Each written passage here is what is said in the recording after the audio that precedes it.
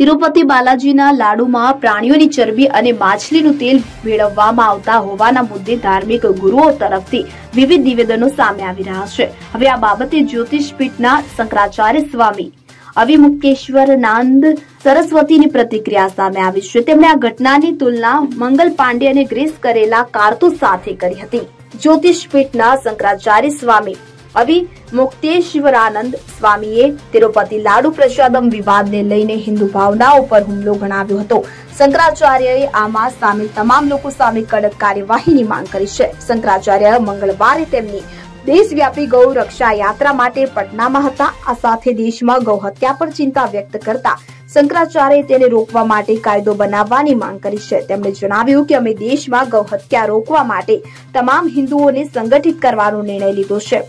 વધુમાં તેમણે રાજકારણીઓ પર પ્રહાર કરતા જણાવ્યું હતું કે રાજકારણીઓ પાસેથી વધારે અપેક્ષાઓ નથી, કેમ કે તેઓ હિન્દુઓના ભલા વિશે વિચારી શકતા નથી.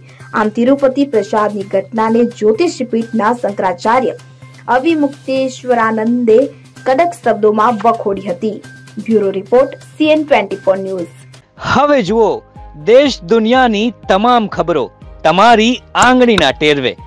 ઉઠાવો મોબાઈલ અને ગૂગલ પ્લે સ્ટોર પરથી ડાઉનલોડ કરો અમારી CN twenty four news mobile app.